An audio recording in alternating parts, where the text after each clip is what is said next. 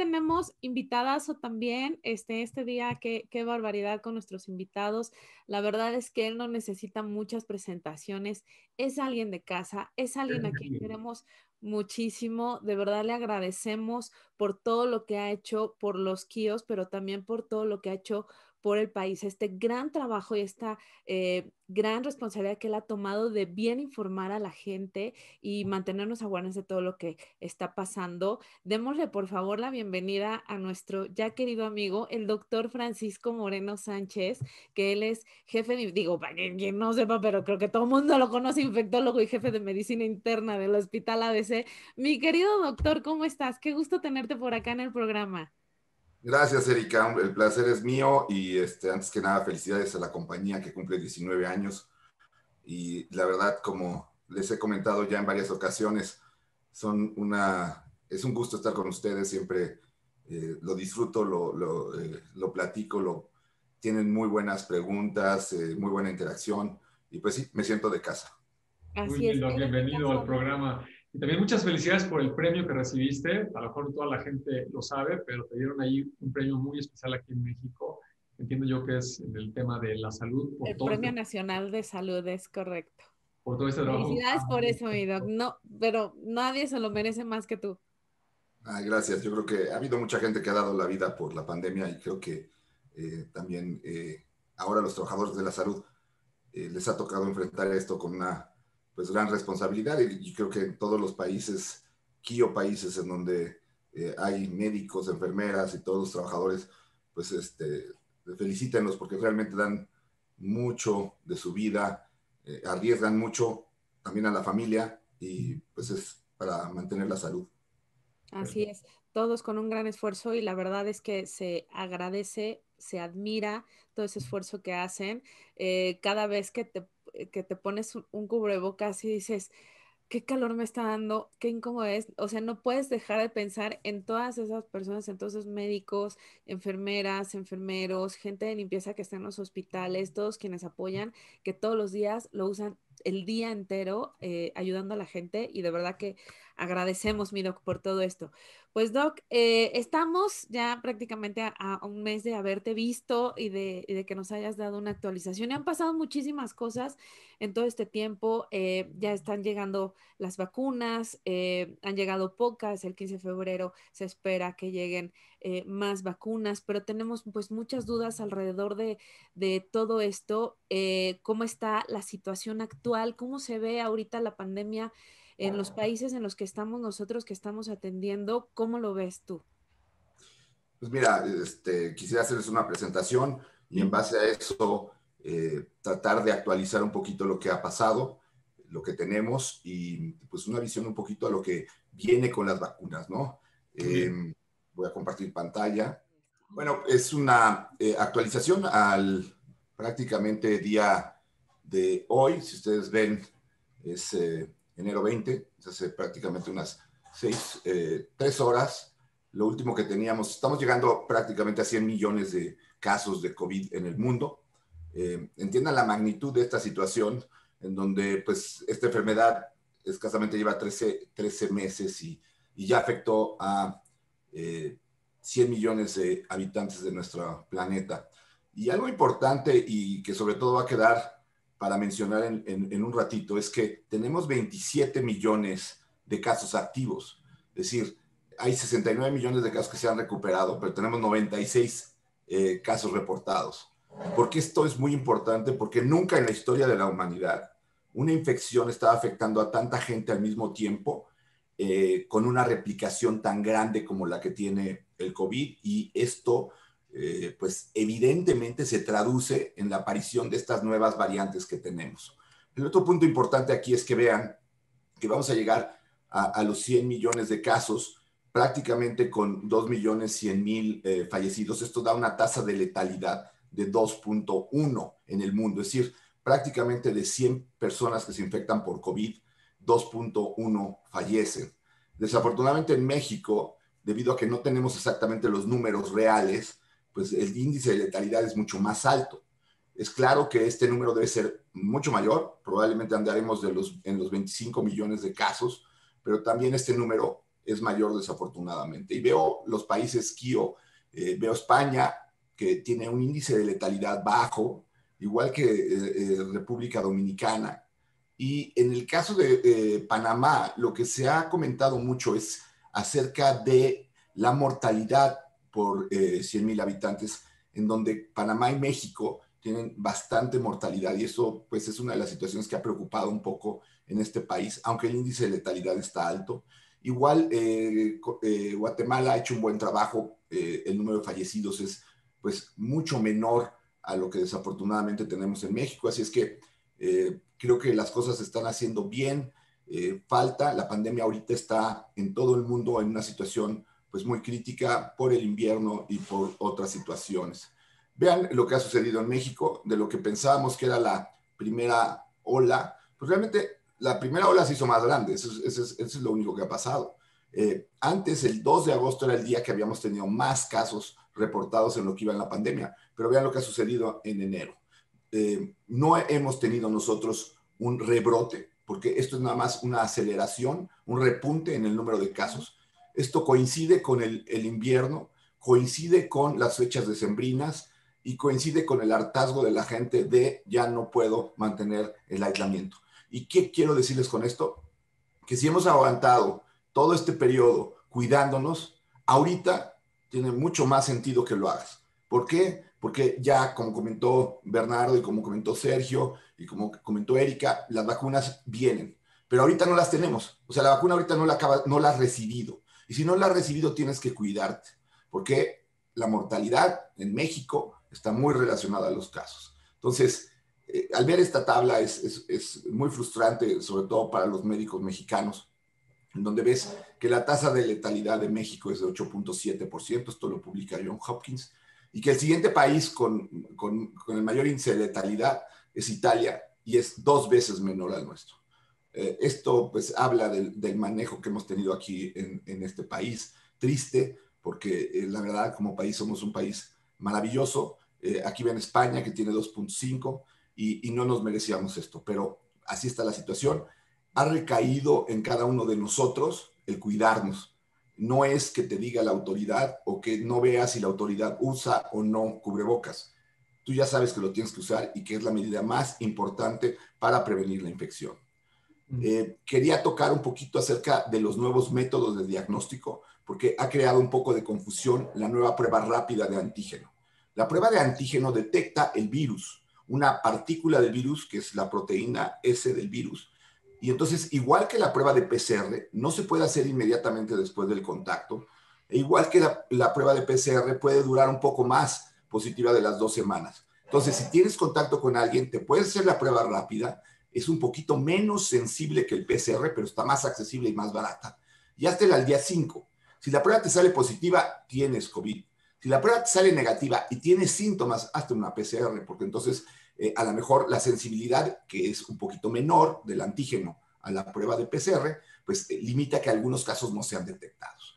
Y recuerden que las pruebas inmunológicas, las pruebas que detectan anticuerpos, no se deben de hacer como diagnóstico, únicamente para valorar inmunidad futura.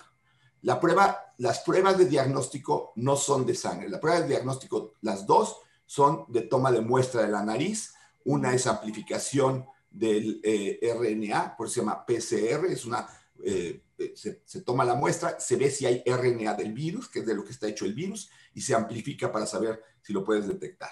Y los fragmentos virales van a durar mucho tiempo, entonces hacerse pruebas a las dos semanas no tiene sentido porque hay gente que dura mucho tiempo eliminando el virus.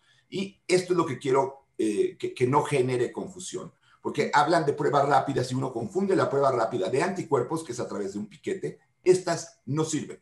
Esta prueba de antígeno, y ya hay varias, no solamente ya hay de Abbott, eh, toma una muestra de al igual que lo hace la prueba de PCR, la toman y la ponen en, en, este lugar, le aplican seis gotitas de una solución que viene con el kit y en 10, 15 minutos tienes el resultado. Te va a dar dos lecturas. El control debe de pintar, porque eso quiere decir que la, la, la, la prueba es efectiva. Si pinta la prueba que dice T que es de test. Si es positiva, tienes COVID.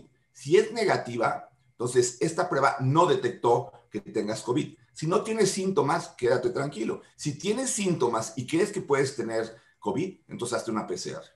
Esa es, la idea ahorita con las pruebas nuevas. Pues nada más para clarificar en, la, en toda la gente, Paco. La prueba antígeno que es esta, que es con ese hisopo por la nariz. Eh, esa sí es efectiva, ya es más accesible, la pueden incluso encontrar en, ciertas farmacias. Ese, ese paquetito justamente el que estás mostrando trae 25 pruebas y una solución, la que comenta el doctor para ver si tienes. La que no sirve es esta que viene en unas bolsitas donde te pinchan el dedo para ver si ya generaste anticuerpos. Una te dice, la que, esta que nos sirve de la derecha es la que te dice si en algún momento tuviste COVID y hoy ya tienes anticuerpos. Y la de la izquierda es si tienes o no tienes COVID. Entonces, la buena es la de la izquierda. Claro, es esta. Y, la puedes tener, o sea, por ejemplo, nosotros los médicos que trabajamos en, áreas expuestas, pues esta, esta prueba nos ha ayudado mucho a, a que nosotros mismos nos estemos checando. Esta prueba te la puedes hacer tú. Tienes que tener el valor de meter el, el, el, el, hisopado hasta dentro de la nariz, pero eh, pues estamos con esta prueba checándonos continuamente para saber pues que no resultes infectado y si resultas infectado, pues aislarte de los miembros de tu familia, porque pues algo que también nos preocupa como médicos es contagiar a la familia. Entonces sí, incluso lo que quería comentarles es que recuerden que un 30% de la gente no eleva anticuerpos, sino la inmunidad está mediada por la respuesta inmune. Entonces, aunque esta te mide eh, si tienes anticuerpos, va a haber gente que haya tenido COVID y que no tenga estos anticuerpos. Y hay gente que va perdiendo el nivel de anticuerpos. ¿Y esto en qué se ha traducido? Pues en esto que llamamos reinfecciones. el primer caso de reinfección que hubo, bien documentado, fue el caso de Hong Kong, en donde un individuo tuvo COVID en, el, eh, en abril del eh, 2020 eh, y después tuvo COVID después de regresar de un viaje en donde por protocolo en agosto le toman la muestra, no solamente identifican que tiene COVID, sino analizan el virus y lo que ha pasado, y ahorita lo vamos a ver con lo de las mutaciones, es que el COVID ha ido cambiando y este virus era diferente al primero. Entonces, aquí sí se documenta que hay una nueva infección. Este paciente, eh, eh, para comentarlo, fue totalmente asintomático en su segundo cuadro. Algo le había servido la inmunidad pero nos habla de que puede haber reinfecciones. ¿Qué es una reinfección? Es un segundo evento por el mismo virus en diferente tiempo. ¿Y qué quiere decir? Que, bueno, no sabemos cuál es la media de eh, la inmunidad. No sabemos cuánto va a ser la inmunidad en la mayor parte de la gente. Pero, porque son muchos los infectados, va a haber gente que empieza a tener eh, recaídas. Así como va a haber gente que a lo mejor le dura la inmunidad cinco o seis años y que sale de la norma, pues aquí empiezan a haber enfermos que tienen COVID de nuevo. Y probablemente sean los menos, pero conforme vaya pasando el tiempo, seguramente nos vamos a acercar a esta media, que a lo mejor es de 18 meses, a lo mejor es de 24, a lo mejor es de 12, pero pues preocupa porque para esto, entonces otra vez vamos a volver a ser susceptibles y queremos llegar a una inmunidad. Y esto, la única manera de hacerlo es que esta gente que mantiene esta inmunidad reciba algo para que pueda continuar con inmunidad. Eh, esto recuerden que los virus similares al COVID han dado inmunidad de 24 y 34 meses, pero seguimos sin saber cuál es esta media. Sabemos que empieza a haber reinfecciones, no todos nos vamos a reinfectar rápido, pero pues ya empieza a haber eso y eso inquieta, ¿no? Eh, una de las situaciones que también han preocupado es las mutaciones. Eh, no, no hay que extrañarse de las mutaciones. Eh, les va a sonar raro, pero nosotros somos el resultado de mutaciones de millones de años de un homínido. Y esas mutaciones provocaron diferentes grupos de eh, eh, simios en donde nos encontramos también nosotros. No estoy en contra de nada más que es la verdad de la evolución. El Homo sapiens actual es más hábil más eh, eh, rápido, eh, a lo mejor tiene una capacidad intelectual mayor que sus predecesores. Y eso es porque a través de millones de años, pues se ha ido produciendo cambios en su estructura genética que lo hacen mejor. Eso mismo pasa con el virus. Nada más que en lugar de tomarle millones de años, pues el virus que se replica y se replica y se replica, ¿qué quiere decir eso? Que se multiplica, lo hace en un tiempo, pues, récord. Rápido. es así que si nosotros vemos el virus original que apareció en Wuhan, que tenía esta estructura de 614, ya no es este el virus que predomina, ya cambió. Es decir, este virus fue sustituido por este, que qué características tiene? Pues es más fácil de ser transmitido, es más rápido, y entonces esta eh, variante del, del virus original, pues va sustituyendo al virus original. ¿Por qué? Porque va a predominar en la población. ¿De qué, eh, qué es lo que preocupa ahora? Que encontramos una variante que se descubrió en Inglaterra, se calcula que empezó por ahí de mediados de septiembre, fue identificada el, el, el 20 del 12, el 20 de diciembre, y es la variante B.1.7. Esta variante ya no tiene una mutación como la anterior. La, la, anterior que les mostraba tenía una mutación. Esta ya tiene 29 mutaciones, es decir, se va haciendo cada vez más eficiente el virus en, en transmitirse. Y este tiene 50-74% mayor contagiosidad. ¿Qué quiere decir esto? Que el virus es mucho más hábil para contagiarte.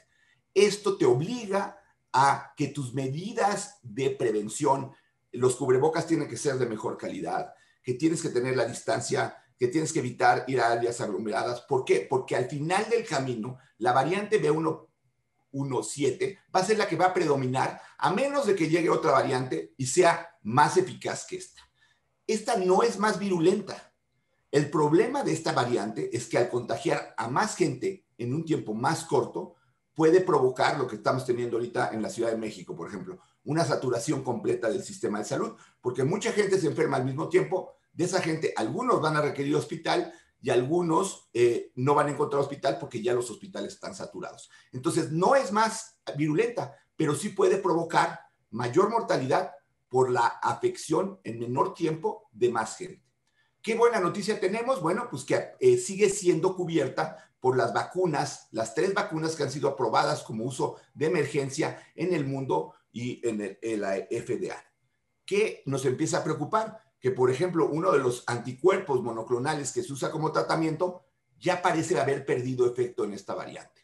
Y lo que más preocupa es que esta variante es una amenaza de lo que puede venir después, porque esta variante puede cambiar, sobre todo como les platicaba, si hay 25 millones de personas en el mundo que tienen el virus y este virus se replica y se replica y se replica, pues lo que estamos teniendo al final del camino es la posibilidad de que aparezcan más variantes con más mutaciones más efectivas y que lograran escapar ya sea de la inmunidad natural, y entonces esa inmunidad que decíamos que podría ser de dos años, entonces vuelve mucho menor, o que escape de la inmunidad que nos dan las vacunas. Y entonces sí estaríamos en, en, problemas porque estaríamos como eh, eh, pasaba en, en, febrero y marzo del año pasado.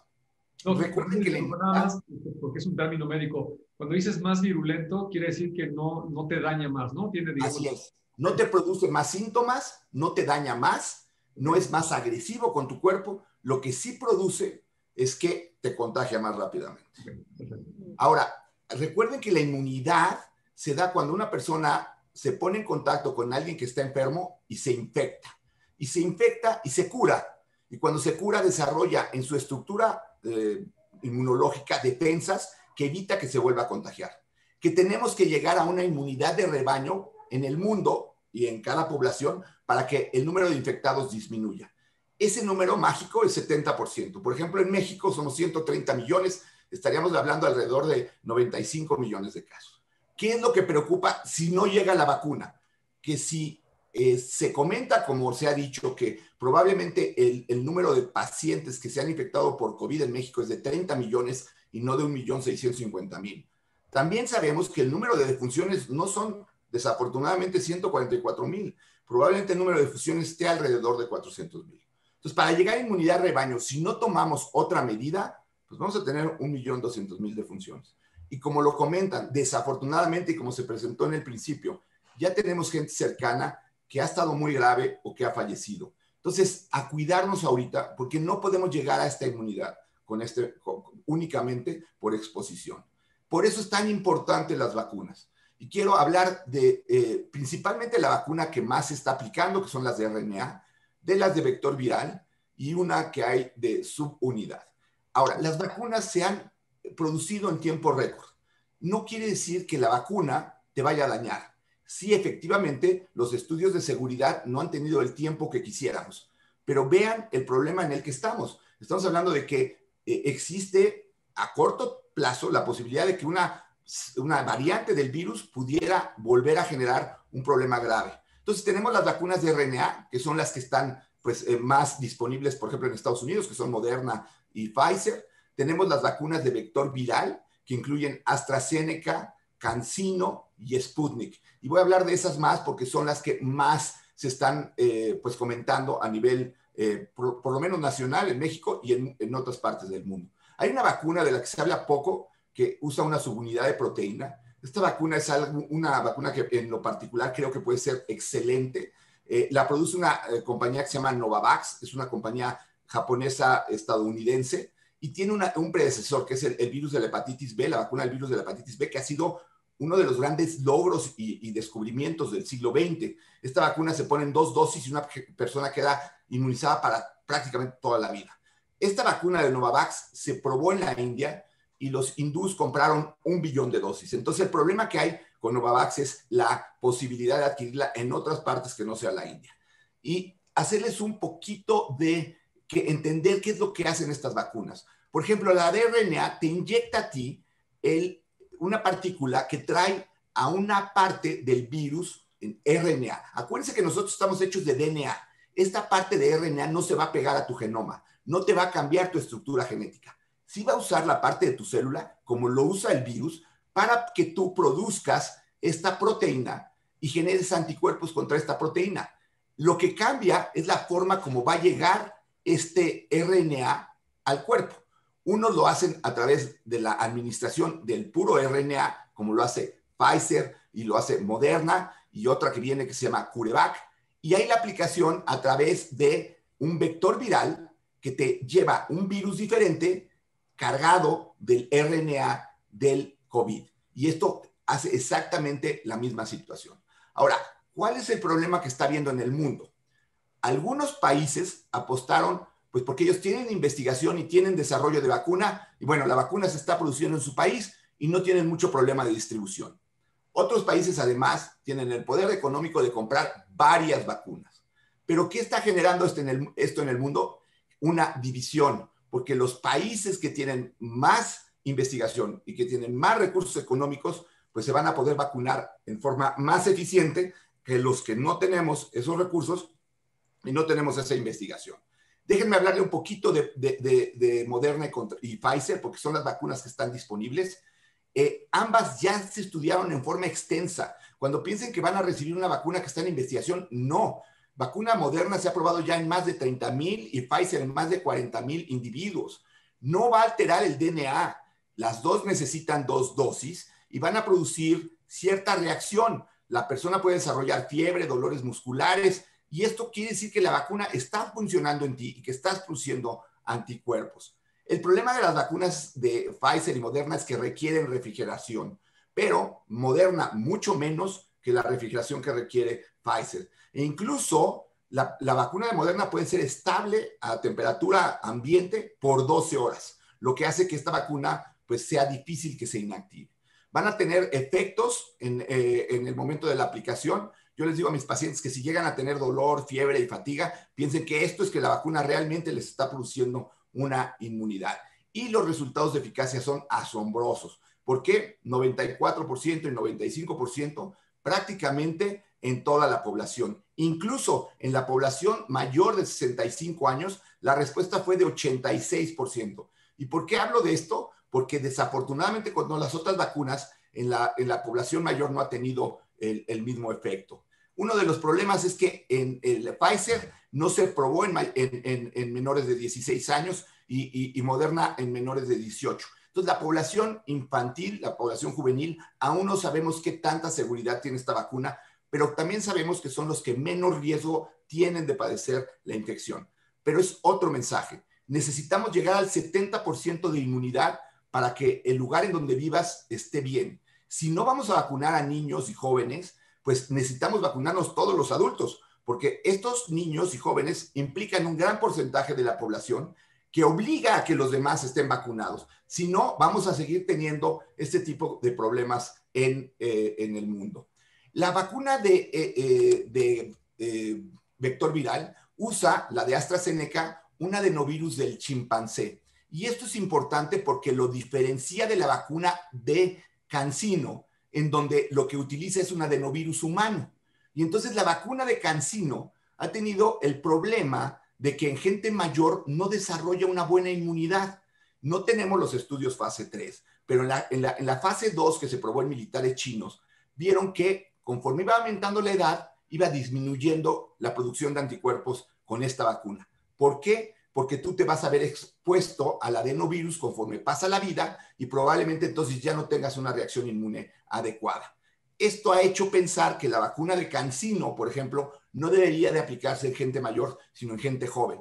Desafortunadamente, los gobiernos están utilizando, por la premura que hay, lo que llegan a tener y eh, la vacunación de una sola vacuna, que sería lo ideal, pues solamente se ha podido hacer en países que tienen pues un poder económico más fuerte, que tienen mucha organización. Y bueno, los dos países que llevan eh, el liderazgo en esto son Israel y los Emiratos Árabes, ¿no? En donde la, vacunación pues ha llegado al 30%. Me preocupa mucho que el mundo va a estar así en cuanto al COVID. ¿Por qué? Porque nosotros vamos a recibir algunos vacuna Pfizer, algunos vacuna Cancino, algunos Sputnik, algunos AstraZeneca. ¿Qué va a generar esto? Un mosaico en tu población. Algunos van a tener inmunidad que va a durar más que otros, otros que recibieron una vacuna no van a tener tanta respuesta como otros y al final esto va a complicar mucho lo que queremos lograr, el 70% de inmunidad. ¿Por qué? Porque vamos a tener vacuna de tutti frutti. Los países como Israel, que lograron que la mayor parte de la vacunación sea a través de Pfizer, van a ser homogéneos. Los otros países vamos a tener de todo. Entonces, ¿cuál es el mensaje? Las vacunas vienen, las vacunas son buenas, las vacunas te las tienes que poner, pero ojalá y los sistemas de salud de los diferentes países logren que la población esté lo más homogénea en cuanto a la, vacuna que van a recibir.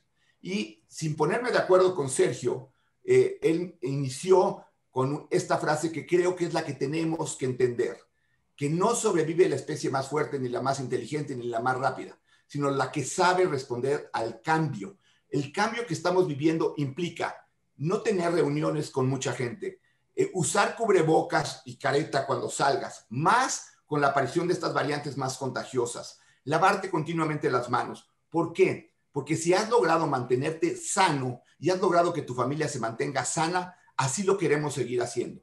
La única forma es respetando estos lineamientos de prevención que sí dan resultado. Entonces, mi mensaje final es, viene la luz, pero todavía estamos en la tormenta. Tenemos que aguantar un poquitito más para que en marzo y abril, que ya haya más vacunación, empecemos a ver los resultados de esa vacunación en nuestros países ni en nuestras comunidades. Lo que todos queremos es volver a donde estábamos. Ahorita lo que yo te pido es aguanta tantito, cuídate mucho, cuida mucho a tu familia para que podamos llegar a ese lugar a donde queremos. ¿Viene algo que nos va a ayudar? Sí, pero todavía no lo tenemos todos. Muy bien. Muchas gracias, doctor, por toda esta información que nos da. La verdad es que es valiosísimo para toda la comunidad de Kio. Hay una larga cantidad de preguntas, la verdad es que genera muchísima inquietud en toda la gente. Te la vamos a hacer llegar a través del equipo de ERI de comunicaciones para ver si luego nos las respondes y las publicaremos para que toda la gente las pueda consultar. Y dentro de las que estuve ahí más o menos viendo, creo, que hay muchas relacionadas con, con, este aspecto que acabas de decir, ¿no? De, de si vamos a regresar a la normalidad, qué tan pronto. Creo que ya lo dijiste, el mensaje claro para todos nosotros es todavía no, estamos en un punto crítico de la pandemia y todas estas variantes, este es un problema multivariable, creo que el mensaje sí queda muy claro de que algunos meses tendremos que seguir extremando todas estas medidas aquí en la empresa, con nuestras familias, nuestros amigos y en general en la sociedad, ¿no?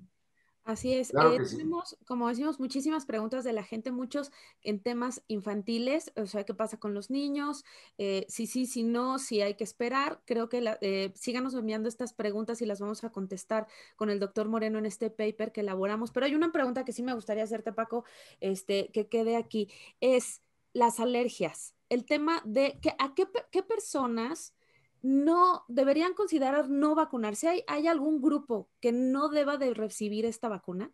Sí, y es muy buena pregunta.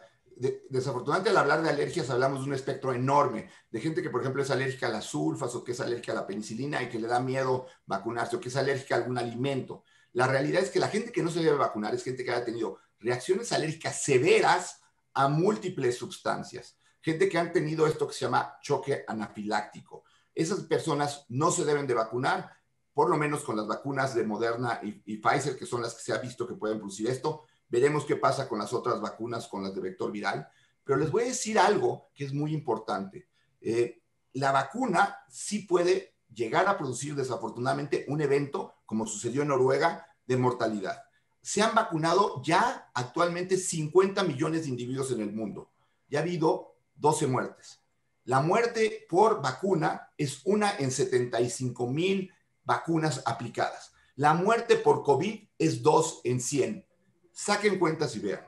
La realidad es que la única forma de estar realmente protegidos de esta enfermedad es a través de vacuna. No es la vacuna perfecta, que haga 100% de efectividad y que además pues, eh, eh, no tenga ningún efecto colateral. No le tengan miedo a la vacuna, por favor. Eh, debe de haber realmente una historia de alergias severas.